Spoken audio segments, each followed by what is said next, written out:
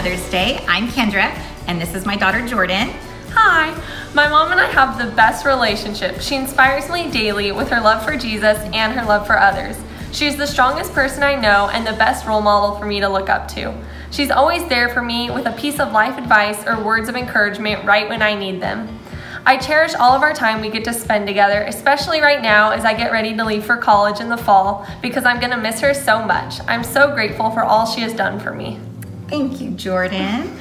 Um, and the verse that I would like to share with Jordan and, and pass on to, to her as she goes on to her next endeavor at GCU, Grand Canyon University in Phoenix, is um, a verse that I hold very near and dear to my heart. Um, it's a verse that it became my go-to verse about five years ago when Jordan was going through some health challenges and um, with surgeries, and then even more recently with my mom going through treatments. Um, the verse is Isaiah 41:10, and that verse says, "So do not fear, for I am with you. Do not be dismayed, for I am your God. I will strengthen you and help you, and I will hold you, uphold you with my righteous right hand." And I pray that Jordan has uh, many more days of happiness than days of struggle or sadness. But the reality is, is that there will be those those days where it's a struggle, and so I hope that she clings on to verses like Isaiah 41:10 and the several others that are in are in God's word and God's promise to us, His promises to us. Um, so thank you for letting us share. Happy Mother's Day. Happy Mother's Day. Hi, I'm Emily Wildy, and this is my daughter. Hi, my name is Claire, and some things I love about my mom is that she always goes out of her way to do things for me and my brother, and she always told me to stand up for what I believe in. And my verse that I would like to share with Claire as she gets ready to go away to college is Colossians 3 1 and 2. Since then, you have been raised with Christ. Set your heart on things above, where Christ is, seated at the right hand of God. Set your minds on things above, not on earthly things. And the reason this verse is important to me is because I feel like there will be so many things that will compete for your time and attention. But if you always keep Jesus first in your life and you set your mind on things above, it will drastically change everything for you the course of your life, how you make decisions, and even how you spend your time. Hello, my name is Ariana Serrana. Hi, I'm Bridget. I'm Ari's mom. And a few things that I admire about my mom is that she is a very strong, hardworking, loving and caring person.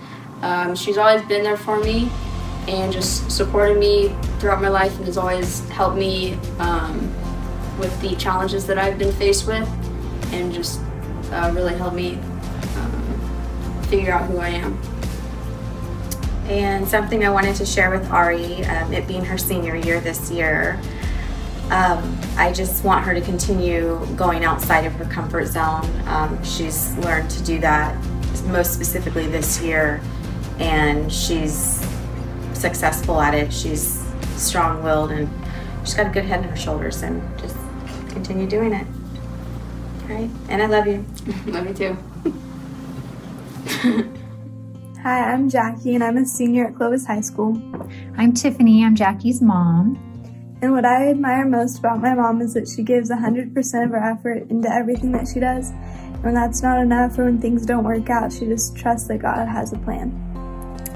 Love that. Thank you. You're welcome. My favorite verse that I want to share with Jackie is Proverbs 3 5 through 6. Trust the Lord with all your heart. Rely not on your own understanding. Be mindful of him in all ways, and he will make straight your path. It's been a verse that I've clung to at different times in my life, and I'm so happy that she loves and trusts God, and I look so forward to uh, the future that He has in store for her. Hi, my name is Ellie Mata, and this is my daughter. I'm Tatiana. I'm a senior at Clovis East High School. I like to say Happy Mother's Day. Thank you. And I'd like to share a few things that I admire about my mom. She is very hardworking and caring. She always gives the best words of encouragement she makes me laugh and she loves me unconditionally. She has been a true guiding light in my life. She has always encouraged me to try new things in school and branch out. Um, she has always kept God in my life and has shown me what a true and faithful follower of Christ looks like, and I appreciate her very much.